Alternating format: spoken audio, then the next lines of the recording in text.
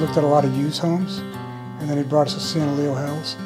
And my wife first, then I fell in love with the area. I was used to um, our old community. I was able to walk the kids to school. That was important to me. We have a pool.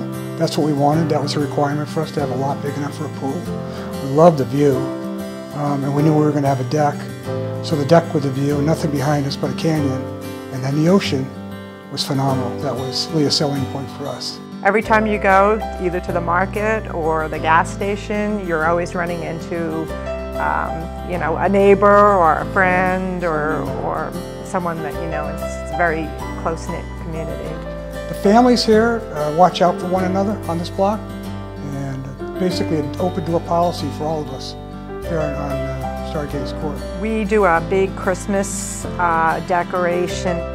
It pretty much looks like Las Vegas and all the younger kids come over and um, enjoy the inside and the outside of our holiday tradition.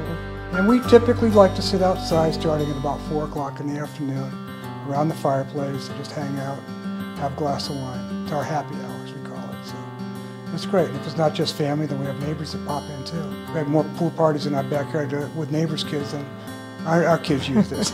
it's great. The door's always open over here. And most neighbors it is, so it's great.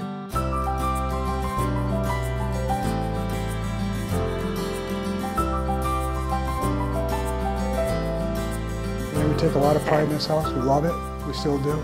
And it'll be one of our favorite homes that we've ever owned, that's for sure. You know, go back, back way many years. A lot of memories here.